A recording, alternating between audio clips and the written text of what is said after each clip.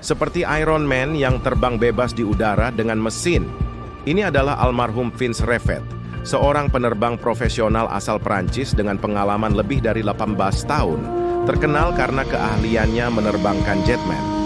Dikutip dari Associated Press, AP, pada tanggal 17 November 2020, Refet mengalami kecelakaan fatal saat berlatih di gurun pasir di Dubai Uni Emirat Arab.